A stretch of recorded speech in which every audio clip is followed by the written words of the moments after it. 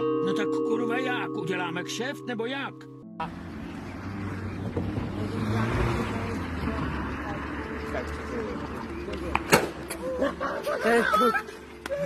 Ty pič.